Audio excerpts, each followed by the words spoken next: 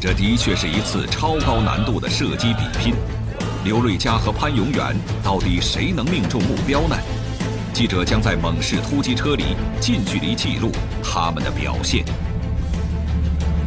开始射击！我们马上要看一下刘班长他能否命中前面移动的靶标，两个气球。哇，还真的很晃动啊！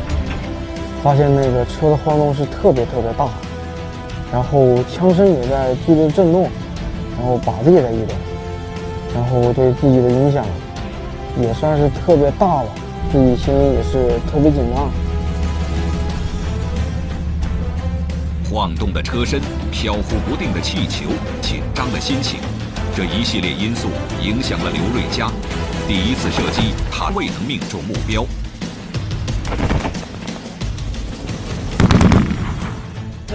射击没有，哦，命中了！这方气球被命中了！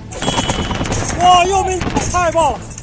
这个简直是太精彩了，太精彩了！这个在摇晃的车车辆车况当中，居然还能命中移动的气球，啊，这简直是叹为观止，叹为观止！别抢我地！刘瑞佳顶住了压力，命中了两个移动的气球靶，率先通过了全部考核。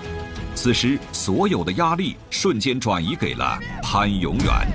开始！加油！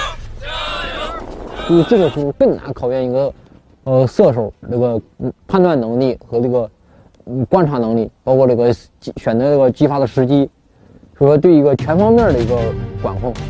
老大，开始射击！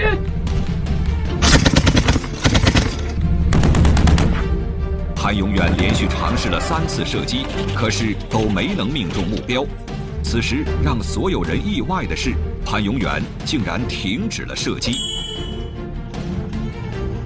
车子晃动，当你瞄好了目标，车晃动了，你肯定瞄不上目标了，再激发也没有作用了。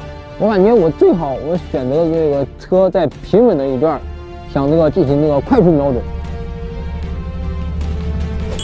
潘永远重新计算射击的角度，寻找开火的最佳时机。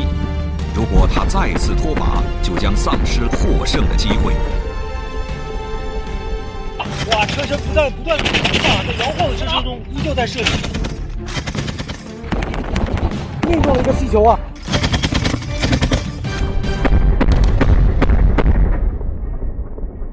气球被命中了，真是非常的精彩啊！最终，刘瑞佳和潘永远都通过了全部考核，一起成为了旅年度重机枪神枪手。这次近距离的全程记录，也让记者坚信，在未来的战场上，新型猛士突击车的快速机动能力和重机枪的火力支援，一定可以让传统步兵如虎添翼。